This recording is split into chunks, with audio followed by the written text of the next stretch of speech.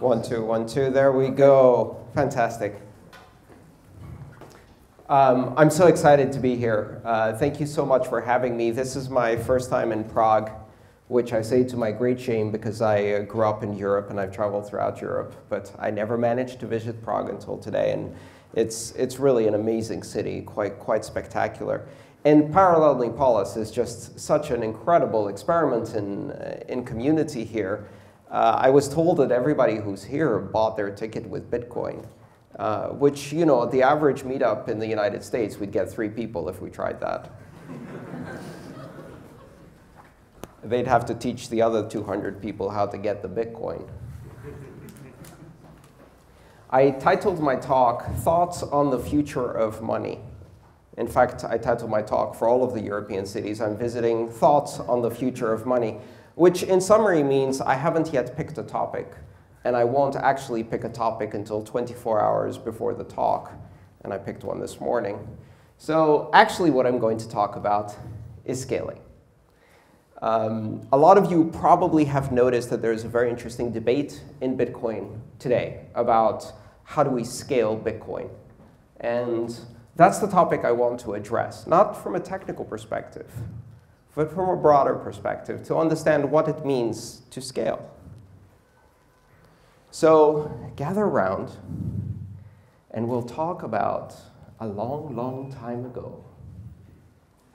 It was 1989 and the internet was dial-up. And not just the connection of users to the internet, the backbones of the internet in most cases were dial-up between universities, between research stations. There were a few permanent connections, high-speed connections, high speed, 256 kilobits, 512 kilobits, high-speed connections. But the internet was mostly dial-up. Email had not yet really started to take hold, but there was a really special place on the internet called Usenet. Usenet was a discussion system a system of discussion groups where you could post a message in text, and other people would see it, and then they would respond. But this was not instant messaging. This was slow messaging. Because in order for Usenet to work, all of the messages had to be transmitted via dial-up system and propagated from node to node in a system called store and forward, store and forward. So you'd post a message, Eh, it would take 24 hours, 48 hours to reach everyone. And then they could respond. And it would take 24 hours for you to see their response. Today, we would compare that to trying to communicate with Matt Damon on Mars as part of the Martian movie. And so at that time, there was a really big conversation among the engineers of the internet because Usenet was getting very popular and it was getting very big. Kilobytes and then megabytes of text information that needed to be transmitted. And at first, these dial-up connections would take 30 minutes to an hour, but then they started getting longer and longer. And to get all of the Usenet messages would take one hour, two hours, and then three hours. And so all of the experts predicted if you draw the point we are here, the point we were six months ago, and you connect them in a line, very soon it will take 26 hours to transmit one day's messages. And then we have a problem because we only have 24. So what happens then? The internet will collapse. Clearly, it can't scale. It won't possibly scale. At the time, there were two parts to Usenet. There was the regular part of Usenet, which contained very carefully structured groups for academic discussion.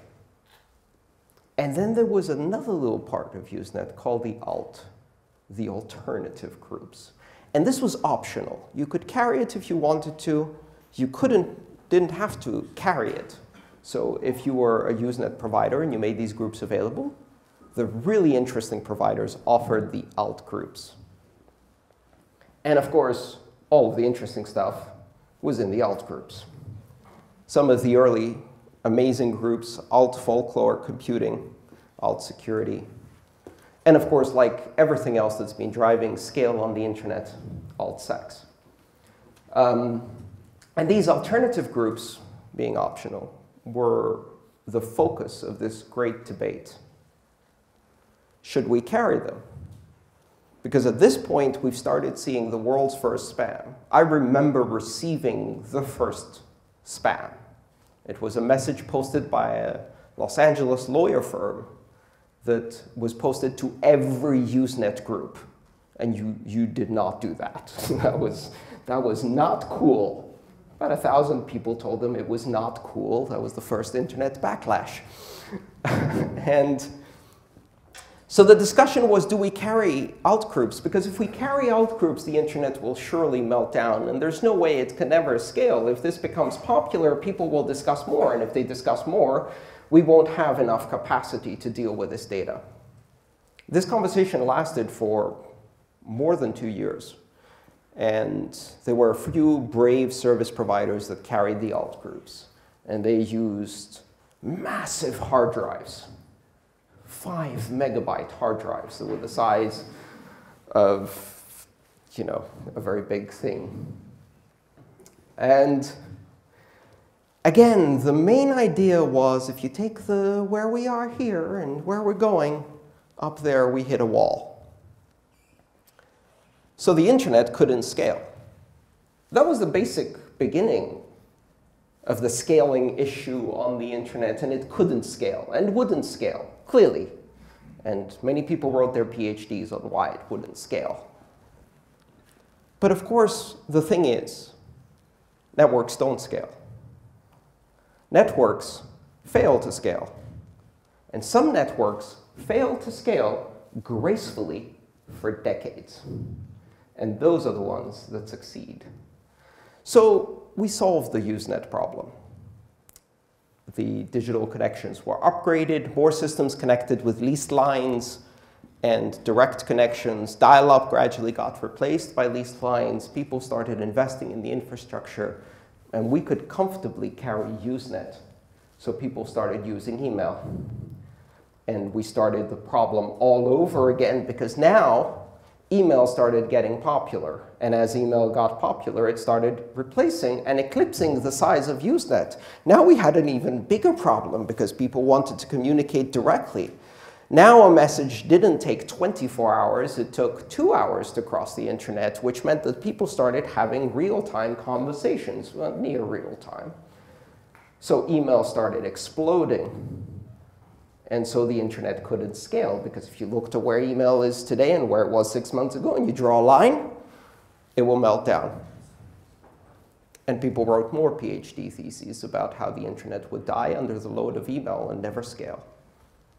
But then gradually, we started optimizing that and solved it. So we solved the email problem. And when I say we, I was watching, because I was just a 16-year-old who didn't know what the hell was going on. But we as people, as humanity, we solved the problem. So we scaled it. So the internet failed to scale for Usenet, and then it succeeded to scale for Usenet so that it could fail to scale for email. And then it succeeded in scaling for email. So some smartass idiot went and invented MIME, multimedia internet messages, which meant that you could attach things to email and these attachments were 10 times the size of the text because people started sending bigger things like drawings and pictures. And of course, once again, sex.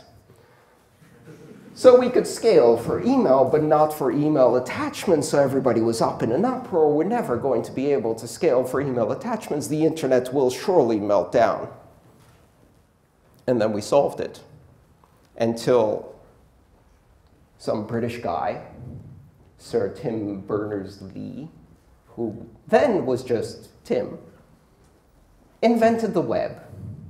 And now you could put the pictures into frames. This was about 1992. I downloaded and ran the first web browser, NCSA Mosaic. At my university lab, we gathered together three, four friends, we worked for hours to get NCSA Mosaic downloaded and compiled and installed, and then we launched it. And we visited the web. All of it. I can say a sentence not many people can say because in 1992 I visited the entire web in an afternoon. Both sites. Because there were two. and I visited both sites. And I looked at that and I thought, oh my God, this is going to be huge. Huge. The internet will never scale. And just imagine what you can do with sex on the web. of course, this became the scaling application, as we all know. It's been driving internet development since, but we don't talk about that in polite company. so then the internet was failing to scale for the web. And people say, we can never do all of these images and hypertext documents, and it will totally fail to scale. And more PhDs were written and more discussion, and the internet was still failing to scale. But by now, it had been failing to scale for more than a decade. Very gracefully, very successfully. So then some idiot invented voice over IP and now some other people decided, why don't we just replace the entire phone system with the internet? Now that was a crazy idea. So the phone companies then started this massive campaign to inform us of why packet switch networks could never carry voice. And really, the true quality approach to voice was always going to be hierarchical switch networks owned by national monopoly telecom companies because the internet couldn't possibly scale to carry the world's phone calls. Those same companies now route all of the phone calls over the internet. So first, they didn't want the internet on their phone networks. Then they allowed the internet on the phone networks. Then they built their phone networks on top of the internet. And then we started sending videos. And then the internet couldn't scale again because YouTube was going to melt down the internet clearly. And we needed some content quality and filtering because we can't allow every idiot to go and publish a video about their cat because there are already a thousand cat videos. And if you draw a line from how many cat videos there were yesterday to how many cat videos there are today, and you extrapolate. by the end of this decade, there will be a billion cat videos on the internet, which is exactly what, exactly what happens.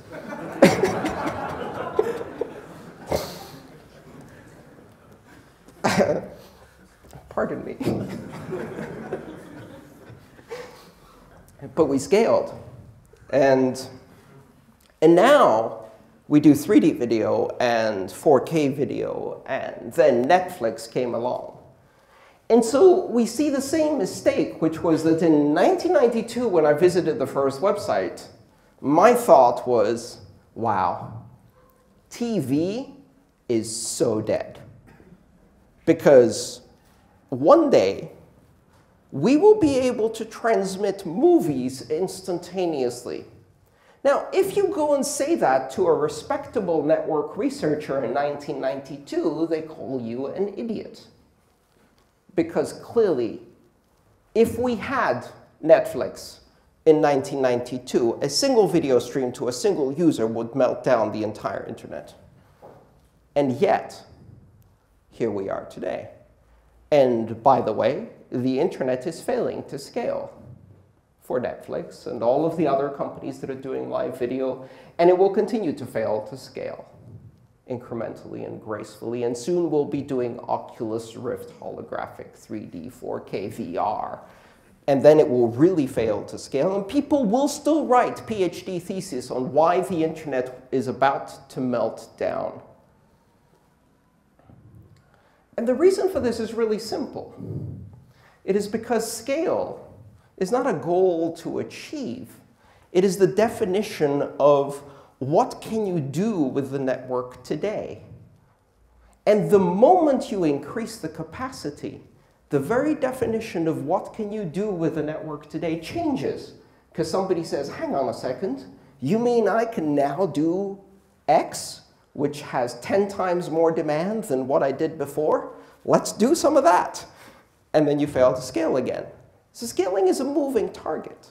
Scale defines the edge of today's capability. And as it moves forward, capability increases. Bitcoin is failing to scale. And if we're really, really lucky, Bitcoin will continue to fail to scale gracefully for 25 years, just like the internet. Because the very same types of companies that then were saying the internet can never work for all of the email, it can never work to do quality voice calls, it could never work to do quality video. The same kind of corporate arguments are now being said, so why Bitcoin can never do retail payments, it can never do Visa scale, it can never do global scale, and if it's actually adopted, it will collapse. And right now, there are a dozen people writing their PhD thesis on why Bitcoin will fail, has failed, is dying, was dead, and has died again. There's a beautiful site called bitcoinobituaries.com where you can read the pronouncements of the death of Bitcoin since 2009 regularly, like clockwork, every three to six months major newspapers, scientists, etc., saying, okay, that's it, Bitcoin is dead. In fact, this has now become an amazing recruitment opportunity. Because all you have to do is wait for people to hear first that Bitcoin died. The CEO of Bitcoin was arrested. Bitcoin was shut down by Putin. And then four months later, someone says, you know, there's some interesting new applications on Bitcoin. And they go, Bitcoin's still there? Bitcoin is still there, is the marketing slogan of this community. If we can just keep doing Bitcoin is still there, people are surprised. They are confounded. It doesn't match their expectations. It's not possible that Bitcoin is still there because very serious people with very serious titles working for very rich companies told them that Bitcoin would not still be there. But Bitcoin is still there because we are failing to scale gracefully. When we fail to scale during a stress test or a capacity test, when the network is flooded with transactions, what happens? Some users experience a terrible situation. They do a transaction with 0.1 millibits like they've always done, and it takes three days to confirm. And during that time, they're freaking out, especially if they're new users because new users assume that the money has left their account, there are no accounts in Bitcoin, and is en route to the destination account, again, there are no accounts in Bitcoin, and therefore is somewhere in limbo in between. But the money is really still in their account. It's just that their wallet says it hasn't been confirmed yet, right? It's, it's either at the source or at the destination atomically with one transaction. There is no intermediate state. It, it can't be in limbo because Bitcoin doesn't transmit. It settles. So we experience these sudden problems, and some wallets behave intelligently, and they increase their fees, sometimes by 100%. So, oh, woe is me, instead of it costing four cents to send a global transaction in seconds anywhere around the world with full censorship resistance and open innovation and open access to everyone, it takes seven cents to send that transaction. And clearly, this is a, an indication, together with the people who had three days to confirm the transaction, that Bitcoin surely is dead now. And some of the developers go, ah, I give up, Bitcoin's dead. And the newspapers write, Bitcoin is dead, transactions are not going through. Transactions are going through, they went through for me. I was running a wallet that was intelligent, it was doing its transaction calculations. But what happens in the aftermath of this capacity crunch? We get better wallets. And that's really the essence of a dynamic system responding to pressure. Because as we get better wallets, these better wallets calculate fees more correctly. And it's a lot easier to jam the network if there's a lot of dumb wallets doing 0.1 millibit fees Because then all you have to do is do 0.11 millibit fees, and you are king of the hill, because the other idiots didn't update. And you jam the network with your transactions. But if they're able to do 0.12 millibits, now you have to do 0.13. And now we're in a race. And before you know it, you're spending 0.5 millibits, oh dear, on a transaction, which, of course, if you're a legitimate user, is nothing. Uh, if you're trying to jam, the network starts getting really expensive really fast. Which brings up an interesting question. What is a spam transaction? What is a legitimate transaction? What is an illegitimate transaction? There are two ways to answer this. One is a paternalistic, top-down approach that says, this is what is allowed, this is what is not allowed, and by making a list, we will prevent the network from filling to capacity. But that breaks the fundamental capability of Bitcoin, which is net neutrality. Bitcoin doesn't care who the sender or the receiver is, what the application is, what the value of the transaction is. All it cares about is did you pay the fee? And if it, you pay the fee, your transaction is legitimate by definition because you thought it was legitimate enough to attach that fee. The very act of paying the fee legitimizes the transaction because if we start making decisions about what is spam and what is not, we are now choosing the future of Bitcoin and constraining it into a set of applications that we can imagine. And the brilliant person who creates the application we can't imagine that may look like spam to us doesn't get carried across the network because we made a top-down decision to say that transaction is illegitimate. And the other way of doing this is to say, how about we use a market to solve this problem? We have a market, we have a currency, use the market to solve this problem, and allow the market to establish the minimum fee that meets the requirements of supply through the miners and their need for propagating blocks fast, and the demand of the users for the applications they care about. And if you pay the fee, your transaction is legitimate. There is no spam transaction. There is no such thing as an illegitimate transaction. There are only transactions that did get mined and transactions that didn't have enough fee to get mined. And so this is how Bitcoin is going to play out. And this is not going to be solved.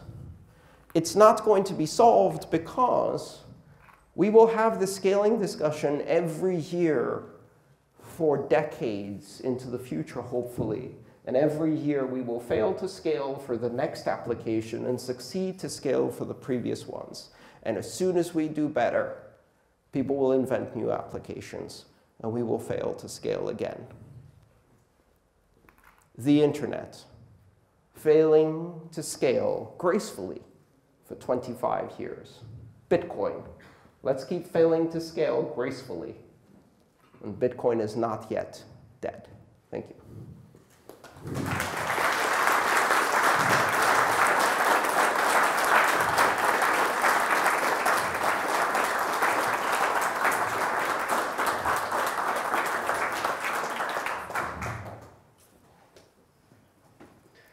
We'll do some questions. Yes. Very good. Uh, so thank you very much, Andreas.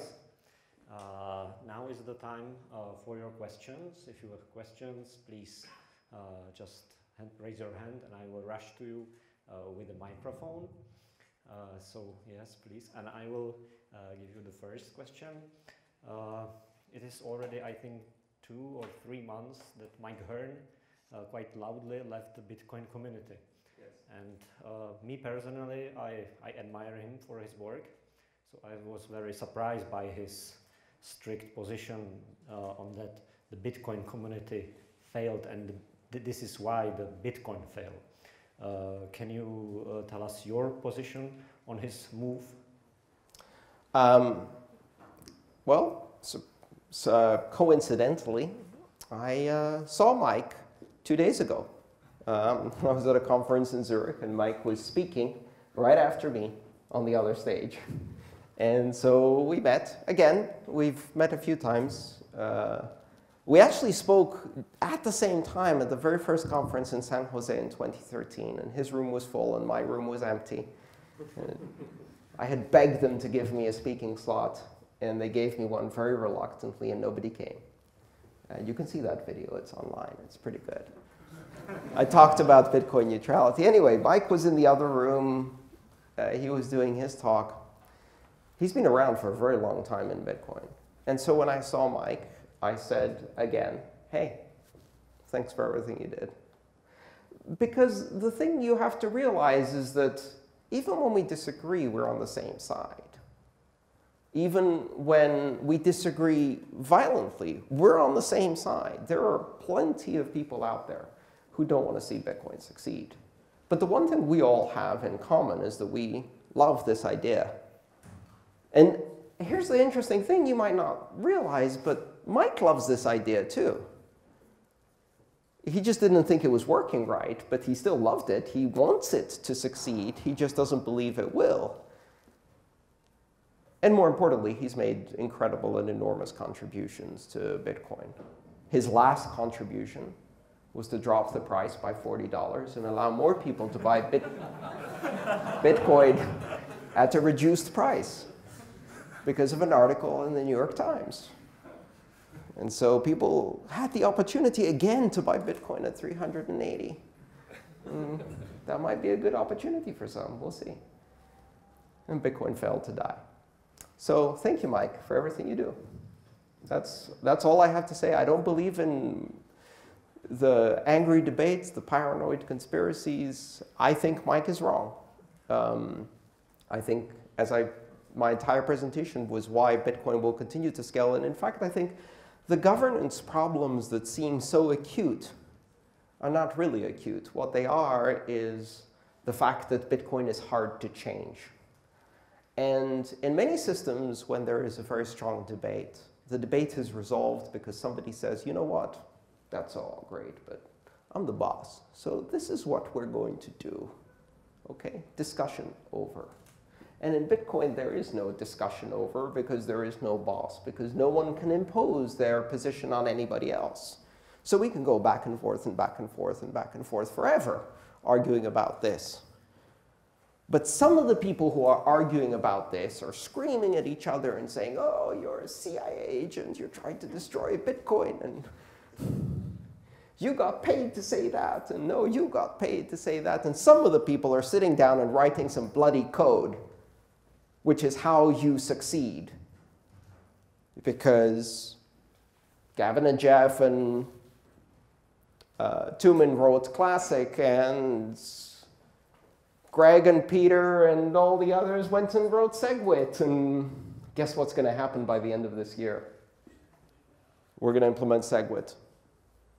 And we're going to do a hard fork to do Meg.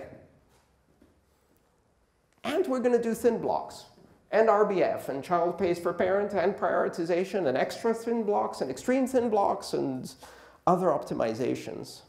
And invertible Bloom lookup tables that Gavin uh, started working on almost two years ago. We're going to do all of those things just to get to the next level of scale. And then we will invent new applications to fill that bloody network and fail to scale again. Thank you. So um, let's take the next question. Who wants to ask a question? Mm -hmm. Yeah, okay. Um, my name is Karel. I'm writing for uh, Cointelegraph, Czech Republic. Hello, Karel. Nice to meet you. And uh, I think I'm a big believer, uh, but sometimes I'm in doubt. Yes. and uh, my question, my question is if uh, you have ever been in doubt uh, about Bitcoin, about future of Bitcoin, that's very important for me. Thank you. Um, yes, I, I have been in doubt. There was a moment where I really, really got worried. And that was the day I got a call um, from one of the people I know in Bitcoin, and they say, you know what, um, we have it on good information that MTGOX is insolvent and are going to blow up today. And get ready for it because it's going to be ugly. And in those days, there were really just one exchange and it did all of the volume. And if Mt. Gox blows up, we have a big problem. And uh, it did blow up that day. um, about an hour after I heard it was going to blow up, it blew up. And, um, and I did, for a moment, get scared there. I was like, whoa, this is, this is just going to be so bad. Um, and then part of me, this little voice in my head is going, maybe it will go to 10. and this other little voice in my head was like, if it goes to 10, you could buy a 10 again. and these were fighting because I wanted to like panic, and, but at the same time I was like, nah, this is gonna work. No, here's the thing: there's so many people who will not give up, no matter what the price of Bitcoin. They will not give up. I will not sell my Bitcoin. I would rather watch it go to zero than some ever. And I don't really have much Bitcoin, but that's not the point. But I will be one of the many thousands of people who absolutely refuse to give up. And all it takes for Bitcoin to continue to exist is two nodes. Hopefully one of them at least, or both are mining nodes. And that's it. Maybe the difficulty will go back to where I'm mining on my laptop. I never got to do that. That would be fun. And so sometimes people tell me Bitcoin will go to zero. I'm like, really? If you go to Rome, you can buy Roman sesterce at a store that hasn't been in circulation for 1700 years, and it's not zero. You can buy drachmas in Athens that haven't been in circulation for a decade, and it's still not zero currencies actually don't go to zero because sometimes they just have sentimental value and touristic value and historical value. And I can tell you something, there's nothing that has more sentimental and historical value than Bitcoin, and I'm not going to bloody sell it. so nowadays, I don't really worry anymore. I really don't. Thanks. I will ask again. Please. Um, but how do you, uh, we know that there is a, a, around 600 of altcoins already. Yes. And uh, about 100 of altcoins went to zero already. So how do you? Well, they didn't go to zero. They went to 0 0.0000015. But someone still has them.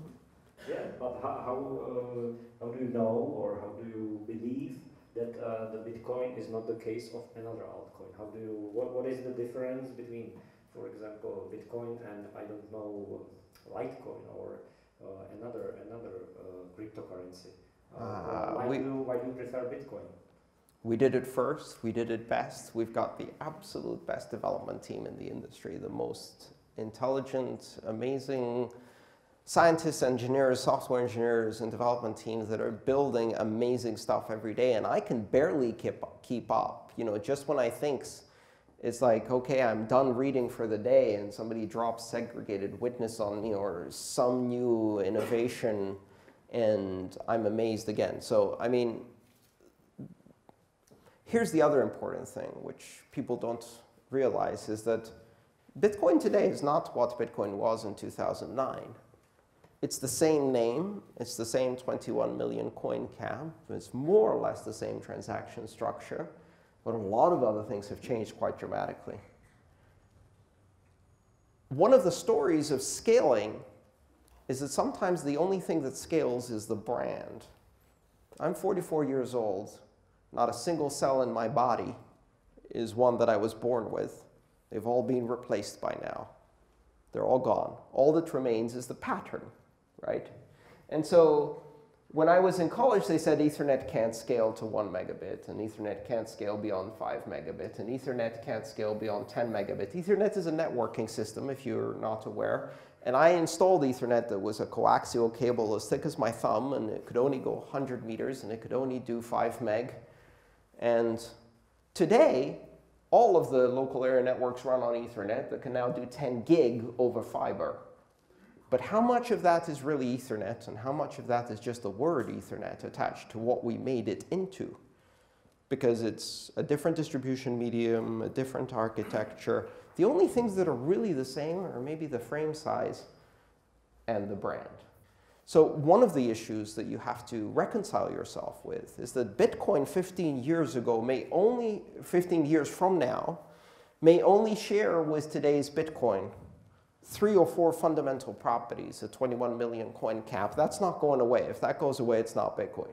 But that, the brand name, and some basic architecture characteristics, everything else may change. Everything else may be completely revised, and we'll just still call it Bitcoin. So um, I don't believe that we need to worry too much, but altcoins to me are a very important part of the ecosystem.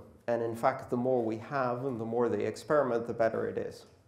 Something really important happened this year. People fled Bitcoin into Ethereum. And that was awesome. That was awesome because all of the previous times when they fled Bitcoin, they left the cryptocurrency economy. And this time, they sw simply switched lanes.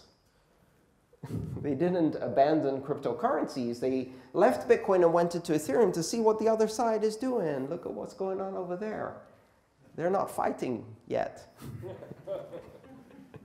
They're still scaling for now. And look, it's all cozy and nice, and they've got contracts and smart stuff.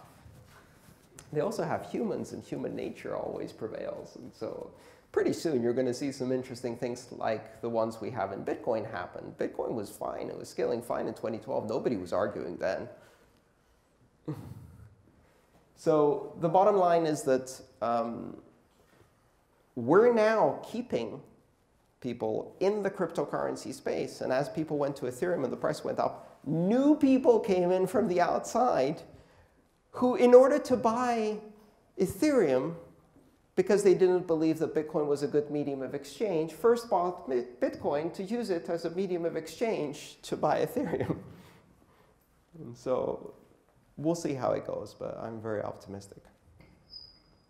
So please, Hi, Andreas. Uh, I'm Jan I'm from Slush Pool. Hello, Jan. Uh, my question is, what is your personal uh, selection for the Bitcoin if you, if you go for the classic or because uh, we have started uh, a new feature in Slush Pool in past week, past few weeks uh, that allows voting for, yes. for the for the type of uh, coin you want to be in the future.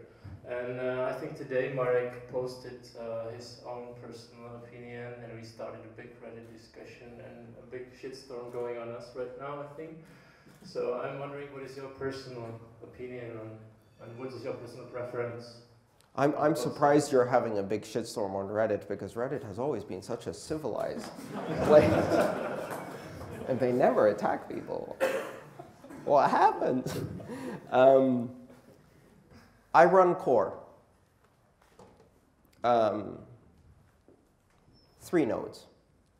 I run classic, two nodes. I run Ethereum, one node so far. I ran XT, one node. Uh, and I will run everything that comes out that I have an interest in evaluating and understanding and propagating. And to me, this will be resolved one way or another. Um, the simple answer is that as long as the plan is working, then core can execute that plan. If core stops executing effectively, they will lose the confidence vote, and the immense centralized monopoly power of core will melt away in less than 24 hours and people will run an alternative client. And guess what will happen the day after? Core will merge the hard fork and keep working because they will receive that vote and go with consensus there are people who believe in big blocks there are people who believe in small blocks and you can have the most well-developed beliefs in Bitcoin up until one week before the fork. And then everybody goes, well, ideologically I'm X, but the winds are blowing classic today, so I'm going with consensus. Because no matter what opinion you have, in the end, you may think that this may not be good for you or may be good for you. But if you go against consensus, you suffer a 100% loss of your income. And so the safe bet is always consensus. And all of the ideology melts away because at the very end, what matters only is the personal motivation, the invisible hand that guides each person to make a choice on their own about their own best interests. And that is the genius of Satoshi, and consensus wins every time. So I am not worried because I'm not a classic supporter or a core supporter or any other kind of supporter. I'm a supporter of good code that works and is currently in consensus. And if that changes, I will take the new data and change my opinion accordingly. Okay, thank you. Yes. Uh, wait a minute. I'll try to keep my answers shorter so that we can do more questions. Sorry if I've been rambling. Yeah, hi. Uh, so basically you are saying that uh, you are depending on the decision of the miners, on the Chinese pools. That's what you are saying. It's not our decision, it's the decision of the miners. No. There are five consensus communities in Bitcoin. There's developers, there's miners, there's exchanges, there's merchant processing, and there's wallets. And they go together. Because if you're a miner and you're mining on a chain that doesn't have the support of the wallets, the exchanges, and the merchants, then you're mining coin that you cannot sell, use, or exchange for anything. And then you're on the wrong side. You can get the longest chain, and if the economic consensus is on the other side, you're wasting your time. And of course, the miners know this, so they're not going to make any move until they believe that the economic side is with them and they know for sure that this is the way that's going to be the most successful way forward. And they're very conservative in that decision because they have millions of dollars invested. You've got to realize something else. A lot of the miners today buy electricity on long-term contracts, six months to a year, which means they've already paid for this. They've already got all of the hardware. And the only option they have now is to run and pay it off. They cannot turn off this hardware. So they will continue no matter what the difficulty, what the price, or which side of the fork they're on. They are not stopping to mine. Um, it's not just the miners making decisions. Uh, just one, uh, just one uh, additional question. Right now, no wallet is supporting SegWit, and I don't know if, uh, if it's going to be integrated in Bitcoin chain because Mike, I don't know if he's still working on, on that. So I'm not sure if well, that's not entire. force the pools. Uh, that's not entirely true. One wallet supports SegWit, and that's the um, core fork by Pieter Wuille that runs SegNet, and that supports SegWit and works and is being tested now for more than four months, I believe. SegNet, the production level segregated witness test network, has been working and doing transactions for four months with a wallet that obviously is producing SegWit transactions. But the standard is not finalized yet.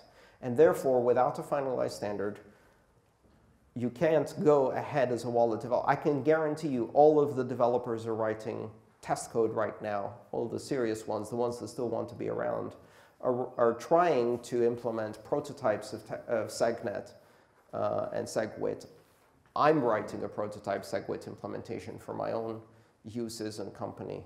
And uh, everybody is behind the scenes waiting to see what happens. But the uh, current roadmap is for somewhere between April and June for the deployment of SegWit into production. So have some patience. Uh, it's going to happen. Yes?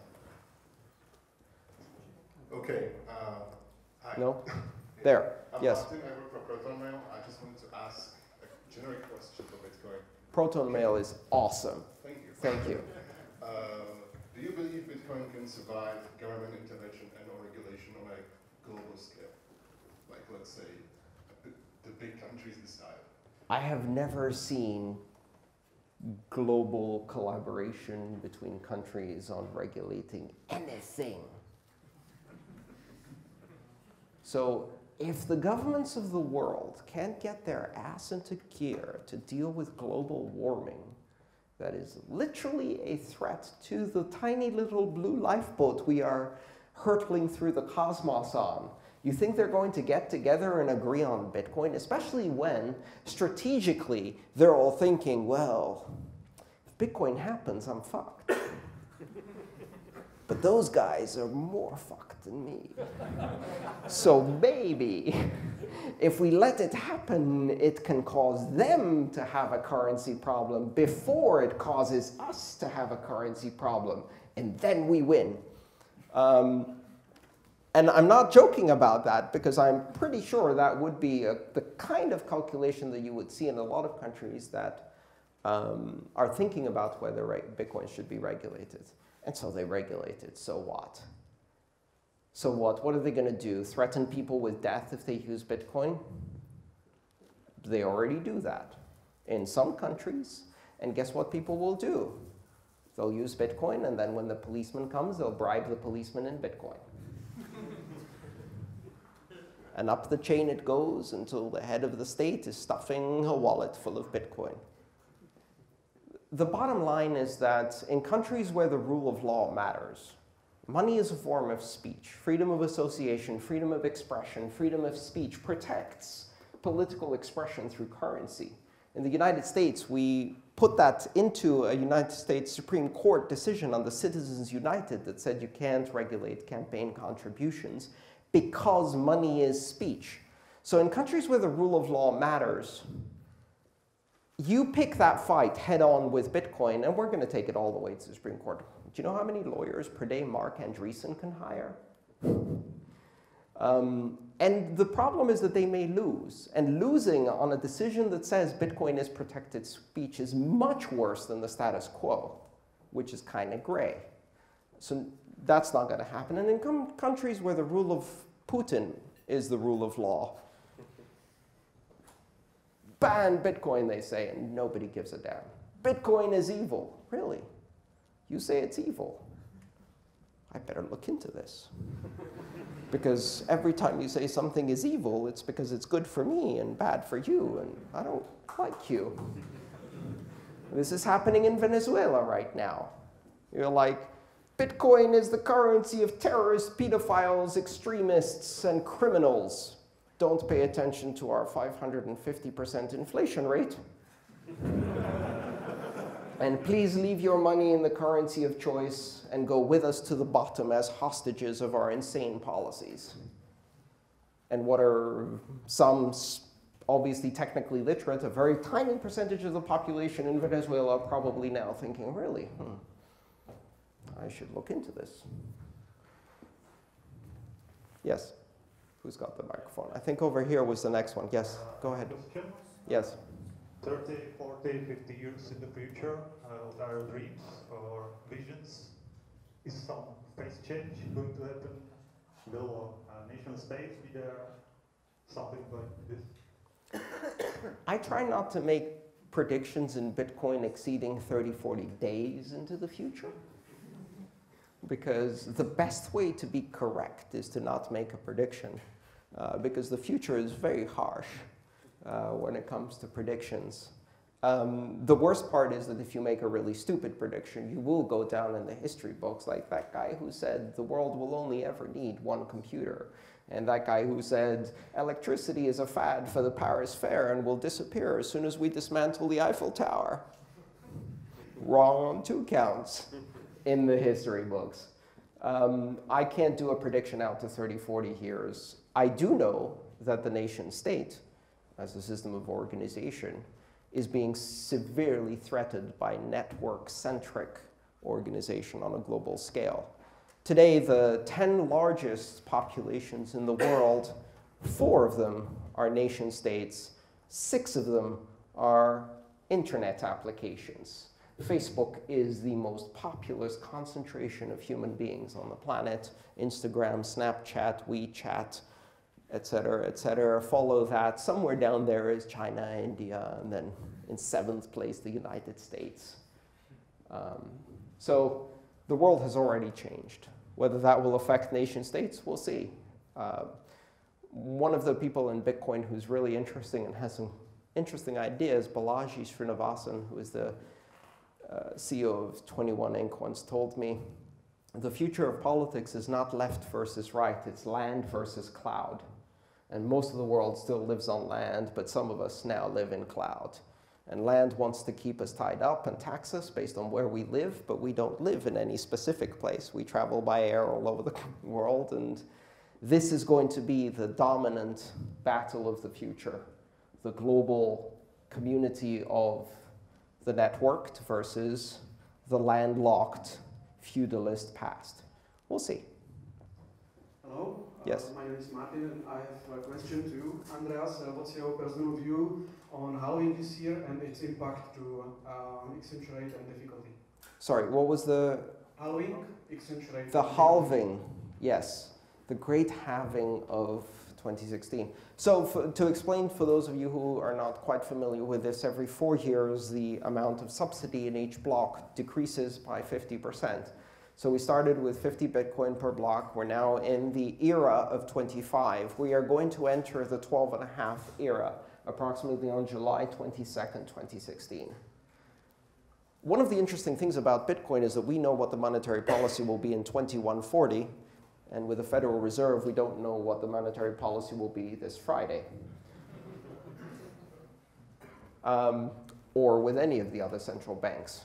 Uh, although I have a premonition that it will probably involve more stimulus and more printing money, because that hasn't worked 100 times, but the 101st it probably will. Um, so what happens in the halvening? As I said, miners prepay electricity in many parts uh, of the mining ecosystem. That's not universal, but it is one of the characteristics of the mining community, which actually has some really serious implications on their decision-making process because it's sunk capital. Um, secondly, we've now achieved a, a, a situation in mining where we've seen from the CPU to the GPU to the FPGA to the ASIC increases of 100 or 1,000 fold performance increases until we accelerated straight into Moore's Law. And that's a wall because 16 nanometers, done. Okay, now where do we go? Now we slow down to 2x increases every 18 months. And everyone can get the same chip, and there's no advantage in pre-ordering, and you no longer have to switch chips every three to six months so therefore, capital, connections to silicon fabrication, centralization of purchasing no longer matter. And this has started happening at the beginning of this year, and we will go into the halvening with a situation where there will be the haves and the have-nots, those who have 16 nanometer and those who don't. And those who do not have 16 nanometer will find themselves unprofitable very quickly, and the rest will not. So we'll see. Um, I predict the price will go up and down. and then it will probably go up and down again because the primary driver of price is still, by a great extent, sentiment. So the halvening is coming. I think Bitcoin will go up. Buy, buy, buy, buy. Everybody else sees it. They're like, buy, buy, buy, buy. Everybody buy. It's great. Oh no, I'm not too sure. I'm a bit worried. Sell, sell, sell, sell, sell, sell, sell, sell, sell.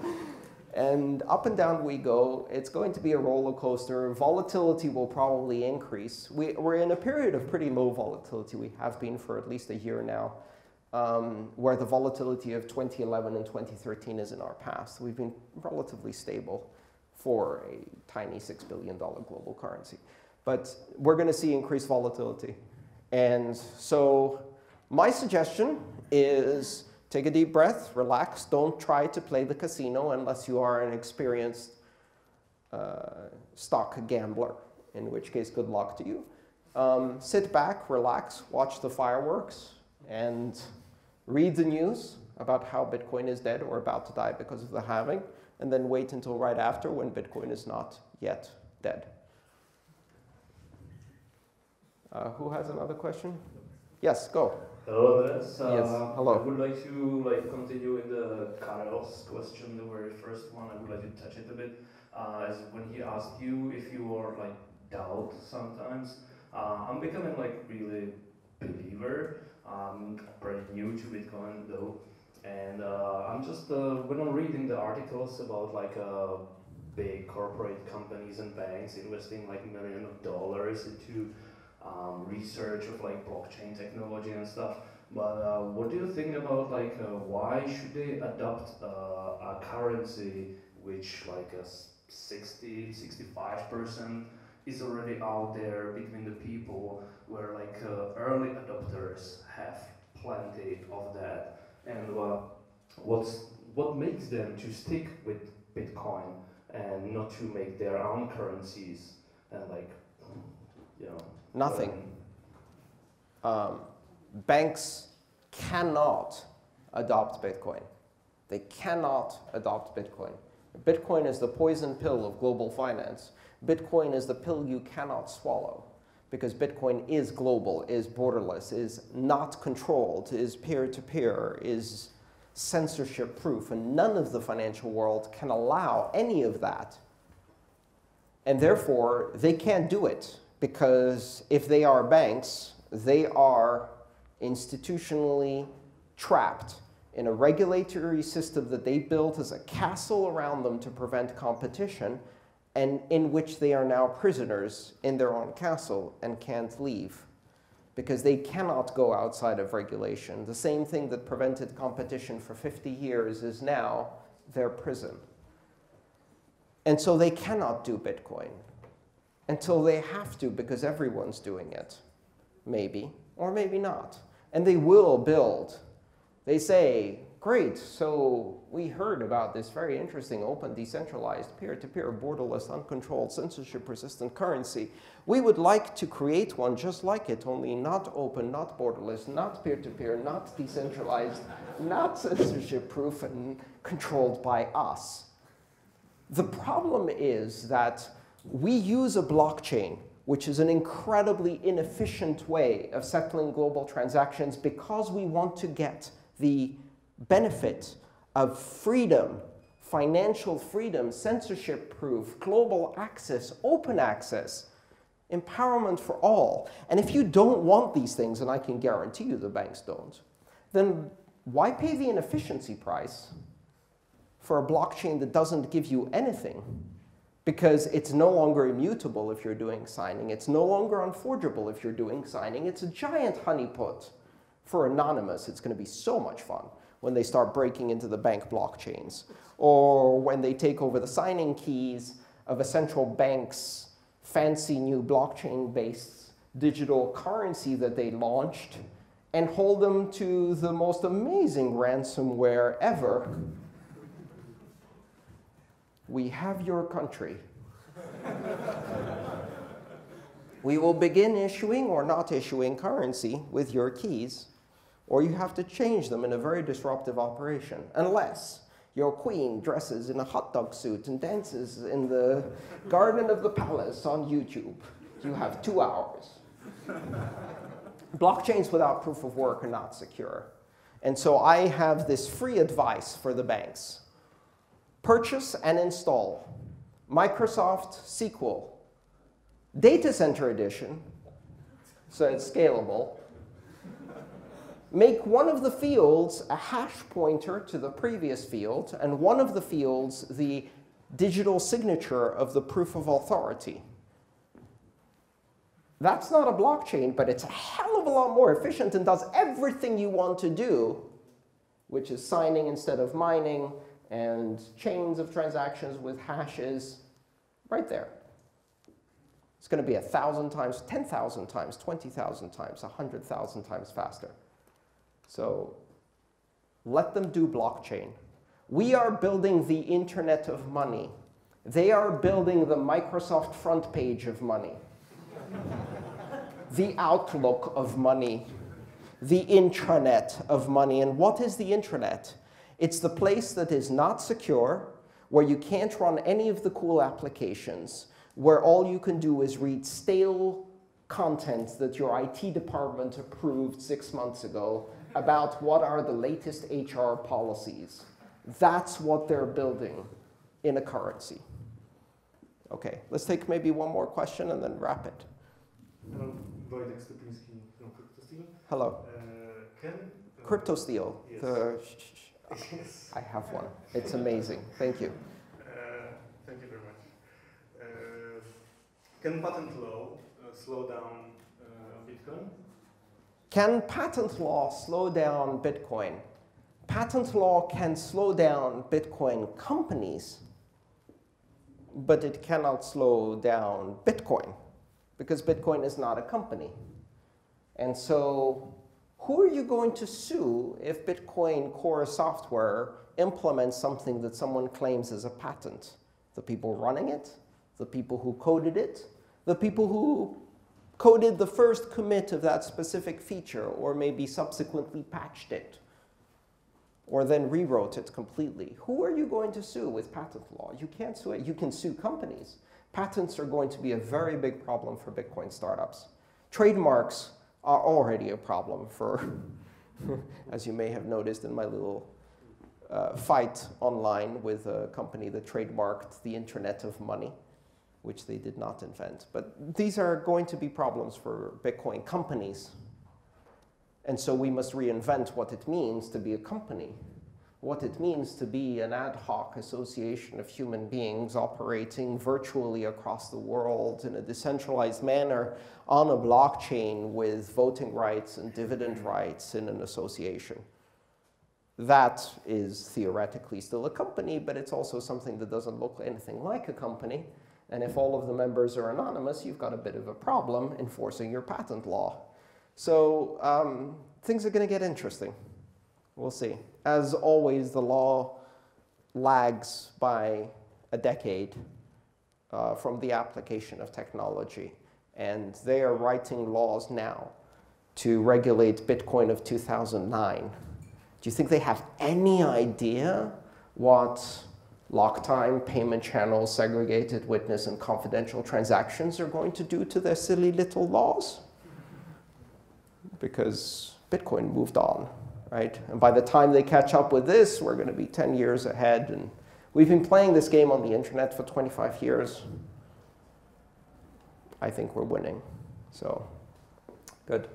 Thank you all for coming here today. Thank you.